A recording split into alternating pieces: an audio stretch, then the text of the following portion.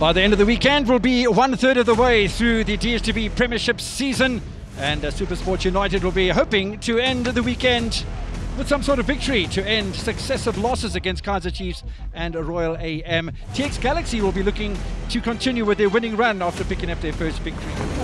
Team sheets then, three changes made by Supersport United after that loss against Royal AM when they were leading. And Nhlapo comes into the centre of defence. There's uh, Tebogo Mokoena as a welcome return and uh, the international play in midfield and Bradley Grobler makes his return up front as well. As far as uh, TS Galaxy is concerned, only the one change then. Menzian Dwandwe gets a debut start for TS Galaxy. He has played four times as a bench player for TS Galaxy so far this season, scored a goal as well.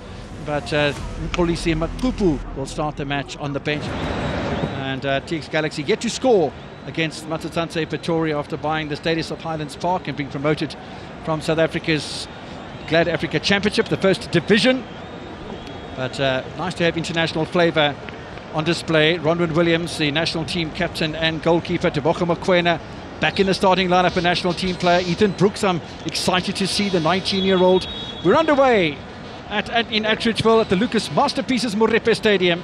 It is TS Galaxy in the, what do you call that, turquoise and red colours that play from right to left. Matsatsantsa Pretoria defending the northern end of the Atteridgeville Stadium playing in the all-white colours. And we are anticipating uh, quite intense match today. Two losses for Supersport United, all by, or both by two goals to one. And in fact, against Kaizer Chiefs, they might have scored a goal, but it was an own goal by Morbo for Kaizer Chiefs. And uh, against uh, Royal AM, it Gabuza who scored his fourth goal of the season. Touch there for Vasilije Kolak in a very, very bright pink colour. No clash between himself and the referee today, as there was on Wednesday between uh, Amazulu and Marumo Galant. Did we have to go there? No. Stay away from that one. It was just, it was very disappointing, I'm sure, but it has helped wake up a lot of officials to, just to be on top of their game. Sometimes some of these uh, procedures are taken for granted in some uh, areas. But uh, hey, hopefully that won't happen again. No, certainly not. We anticipating a lot of flair play, a lot of wing play from Supersport United, and they've got a break here. They've unfortunately ventured across the touchline.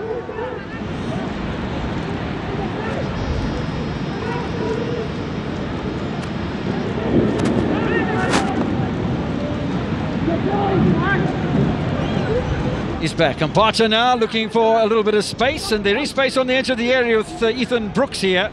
Sells a dummy first time around, and then overhits it across the penalty area. I like the beginning of it. I didn't quite like the end. Yes.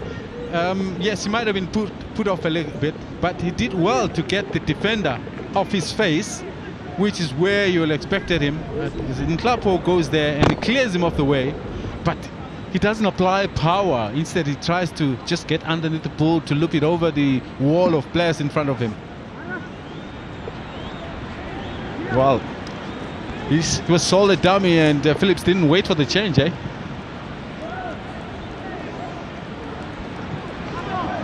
Quality play as he gets the better of his national teammate.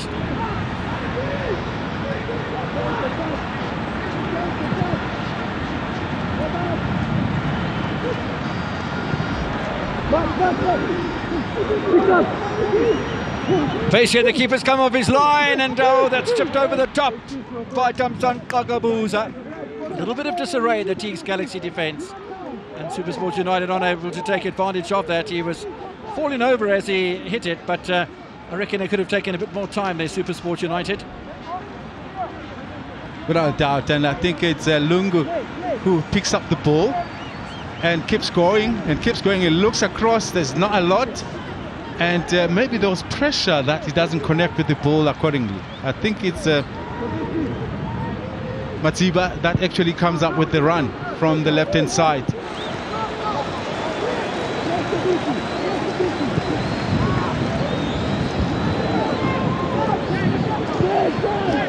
Parcher, man and ball at the same time with Gamphani Lungu. Uh, fast and loose at the moment, but there is a lovely little touch from Ndwandwe. He's been shepherded wide. Barter. Oh, Barter's done nicely to shake off Mokoena. Second ball for a shot, it goes over the top. And Nduli misses a good opportunity. TS Galaxy have not come here to make up the numbers.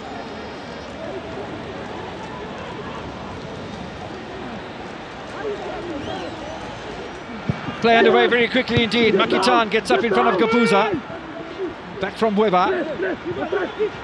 And uh, Ethan Brooks got a little touch in there as well. So does Phillips, but it's getting a little bit fast and loose out there at the moment. Gamphani Lungu in a much more central role gets past Nduli, but he can't get past Makitan. Makitan, I must say, has made a couple of very, very important uh, challenges today, interceptions, interventions. As well, I think uh, sometimes you look at the calls considered, you think uh, they're having the worst defense, but uh, they're actually a quality defense. Opportunity that goes wide of the target from uh, Super Sport United, and just for a moment, their creativity nearly paid off for Matatanta. It's only their second goal attempt. TS Galaxy have four creative efforts. Good move by Gabuza. And it's Mokoena who makes that attempt in a very high uh, position. And of course, it takes a deflection.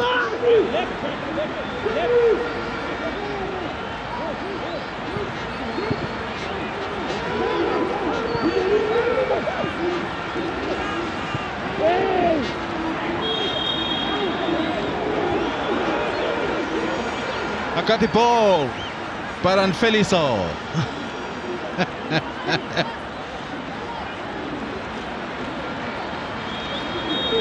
I think it's Mbata that is down. Yes. A bit of a free roll on Barta. Uh, just never going to go in favour of Super Sport United. That challenge from Gamphani. My word. He doesn't touch the ball. That's the difference. He's had a good match so far, has the skipper. Mbata, all of 36 years old now. And, uh, those sort of uh, knocks are felt more and more the older you get. I remember him playing for Aces. That is Mpumalanga Black Aces were looking to who's in the stands. Uh, the national team coach is in the house alongside uh, his assistants, Mkhalele, the Midnight Express, on the left hand side of the coach. He looks cold. Not the coach. Midnight Express. What a tremendous player in his day. I was talking about Mbata. I remember him when he was still playing for Black Aces in the first division, alongside the likes of Musasa and Muso. Unbelievable. All those have retired since retired, like disappeared completely off the scene, and uh, he's kept going. He's promoted the Aces twice. Gamphani Lungu becomes the second Supersport United player to pick up a yellow card in this match. So he also has to be careful. Still pleading his case. Yeah, absolutely. Play continues. Two minutes added on to the end of the first half. We're already nearly one minute elapsed in stoppage time. That's a nice turn from Max Munyai. Sweeper keeper from Ronwen Williams. Wow, the chest and then the clearance. It's brought up well, this one. Under, play. under the tutelage of a. he can play. Just saying. oh, lovely little burst through to the penalty, and Yama looking for a second ball there. So is Marks Munyai. Knock away by Nhlapo. Brooks to Sidat. Oh, Sidat trying the first time feed. It doesn't quite work out, and Gamphani Lungu's on the attack. Brooks fighting back though. Now on Nduli to Mbata. Mbata seems to be running freely again after that little knock that he took. But he can't thread the eye of the needle, Mbata. Pick up here for for Nduli. And finally, we do have a shot in anger.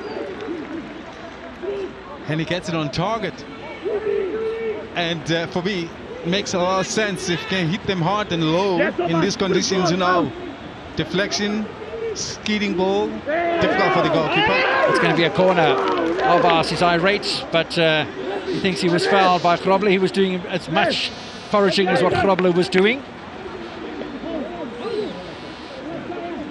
Yeah, last touch came from Albas. I guess maybe because he was falling, didn't even see it. Well, it's a footballing incident. Both players equally complicit, I think. The referee allowing the lads to play. Away by Makitan. Two minutes of time were added on to the end of the first half. We've had nearly three of them. Finally, Mr. Bambiso goes to the whistle and blows for half time. Supersports United ending the first half on the attack, but uh, there were opportunities for both sides during the first half, and we saw that shot in anger just a few moments ago from TS Galaxy that was saved by Supersports United. William, both sides have had opportunities. We haven't got any goals, which we were anticipating in this one, but we do have another half still remaining.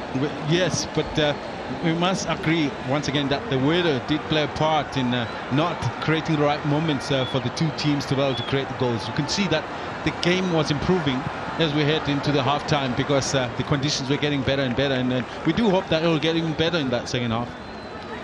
Well, we certainly should have an improvement in the quality. The rain's gone away and the pitch should be uh, drying up a little bit outside as well.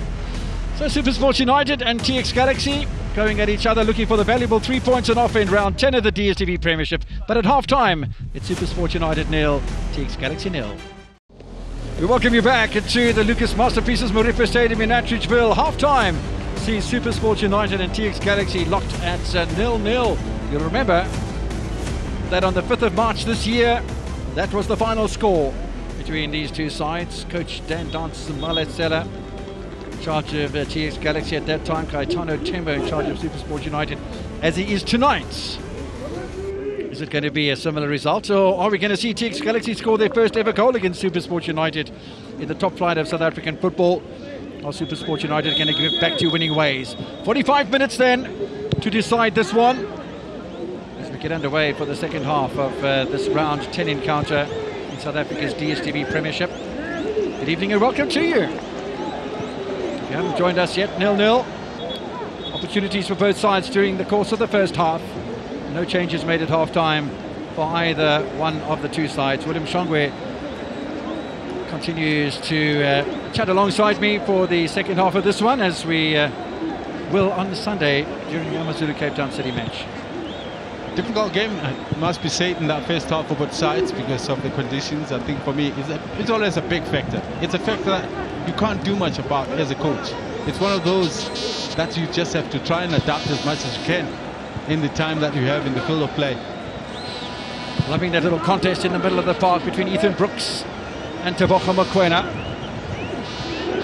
Dooley again, beaten in the air by Weber. Weber's had a good match tonight. He's been very involved, not only because he's a set piece taker, but uh, clearly he's getting himself involved. Now, wider by Ndwandwe for Nyama. Nyama trying to get past the left-sided fullback. Nisma Basera is a very, very clever footballer. I, I guess uh, has studied uh, Nyama very well. He wasn't buying uh, that drop of the shoulder to the left because he knows his left footer was looking to cut into the inside.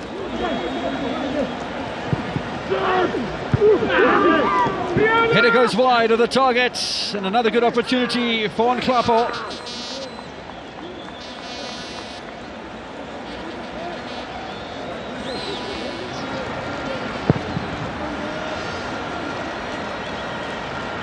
Header from Bradley Grobler. Oh, what a lovely touch of the ball there from Sidat. Offside flag is stayed down and Komasulu's in space here. Komasulu through the legs of the keeper and puts the Rockets in front. Caught on the counter-attack here. Super Sport United and TS Galaxy score their first ever goal against Matsatsantsa Pretori. The question now comes up, uh, was he onside or offside? It looks for me a little at it. It might have been an inch or the uh, official on this, this side I think might have been caught behind the action to be able to pick it up, but uh, we have the privilege of the replay that's going to follow.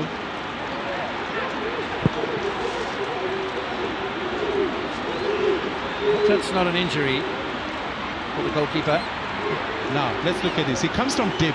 He runs through, and Mkwanaz is caught between whether he runs with him or, or was it in Nhlapo? I think it was on the line. But uh, had composure. And uh, look at the goalkeeper and squeezes past the legs of the goalkeeper. Where's the goalkeeper, you don't quite expect it to come that close.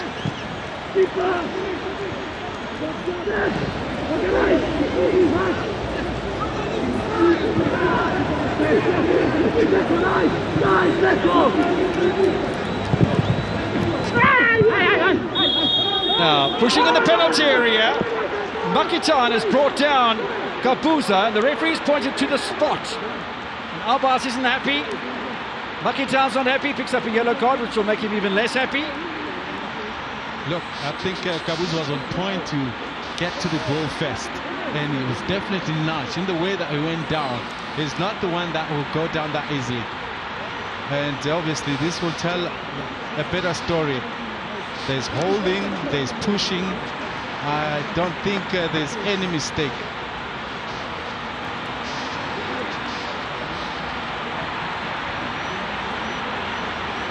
Grobler waiting for the loose ball, but it wasn't him. And uh, Makitan appealing to the referee for some clemency there. There wasn't any given by Mr. Bambiso. Averages three yellow cards a match. He's issued three yellow cards in this one. The penalty is going to be taken. The referee making sure that the goalkeeper's on his line. Well, maybe they would have done that in the MTN8 final. But that's uh, another story altogether, isn't it? Oh, obvious. The message is now of uh, filling through to be able to advise the goalkeeper, say this one likes to take it this side, which I think happens a lot between players and goalkeepers to see if they can add value to help uh, the keeper to make the right decision. Sanka Gabuza against Vasilije Kolak. Supersport United looking for an equalising goal. Takes his time, he's thoughtful here, he's Gabuza. Slots it into the top corner. Gabuza with his fifth goal of the season. Supersport United are level.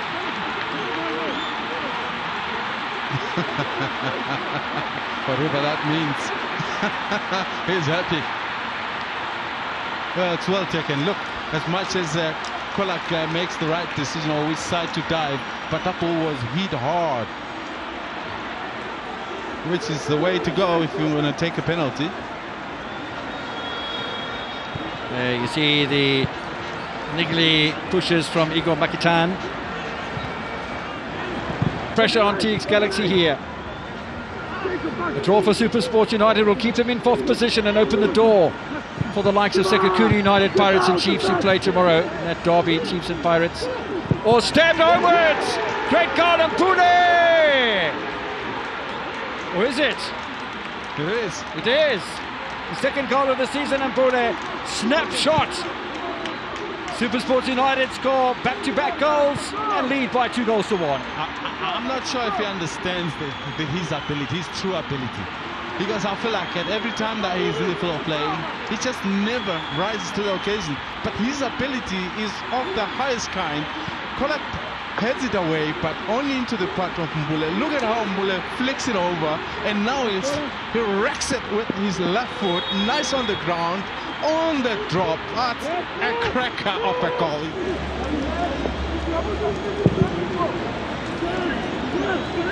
Four minutes of time added on, which will be, I think, more pleasing for Tim Sukazi's side than that of Matsatsantsa. It does open the door somewhat.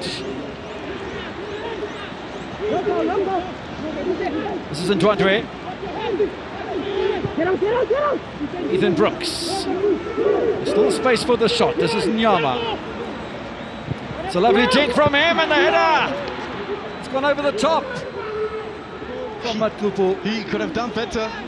He's excellent with his uh, head in the area. He's He finds himself a bit of space in between the two defenders. Excellent from Nyama to spot him. But the problem is he jumps from a standing position. The ball is not coming with any pace. It's difficult to control those. Could have done better still. Not without opportunity, TS Galaxy. No goals in the first half of this one. Three in the second so far. Munyai loses the battle against the officials and uh, loses the battle against Rayners as well on that occasion. Yeah, just the hand in the face, I think, was uh, the giveaway for the former Leopards man. Super Supersport United heading for third position on the table and back to winning ways.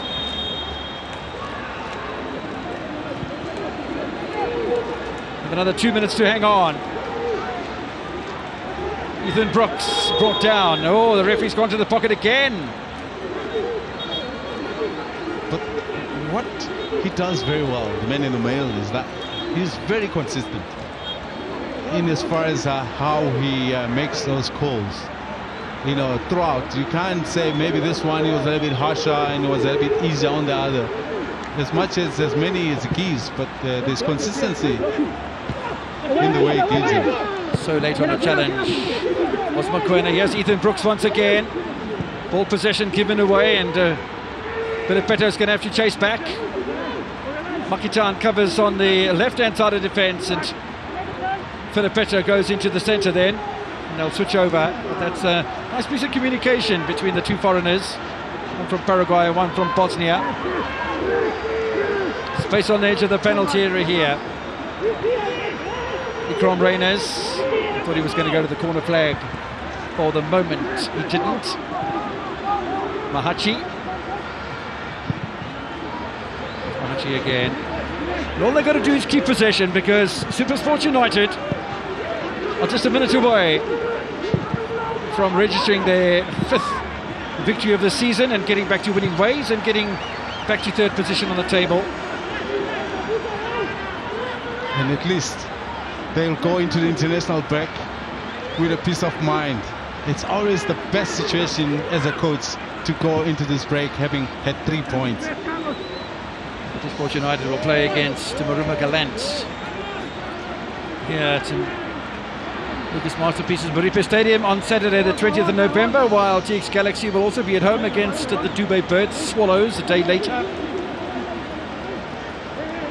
when action returns from the international break and by that time William Shongwe South Africa will know whether their team is qualified for the uh, Qatar FIFA World Cup finals. We'll certainly do hold thumbs for uh, Coach Broos. Um, not yet. There's still going to be another small. Oh, there's still another round. Yes. Do beg your pardon. Yes. TS Galaxy might have scored their first goal ever against Supersport United, but when the opposition scores two in response, well, then it's a losing cause, and that's exactly what's happened. And Supersport United remain unbeaten against the Rockets. A brave performance by TS Galaxy, but uh, yeah, goals from Gabuza from the penalty spot in Mbule with a lovely effort have upset the apple cart for Sead Ramovic and looking for consecutive victories. That didn't happen tonight, but uh, I think an improved performance from TS Galaxy all around, and they'll use the international breaks to great effect before they come back to take on Swallows in Mbombela on uh, Sunday, the 21st of November. For Supersport United, it's a welcome return back to winning ways. And uh, with goals from Gabuza and Mbule, it is Supersport United who win tonight by two goals to one.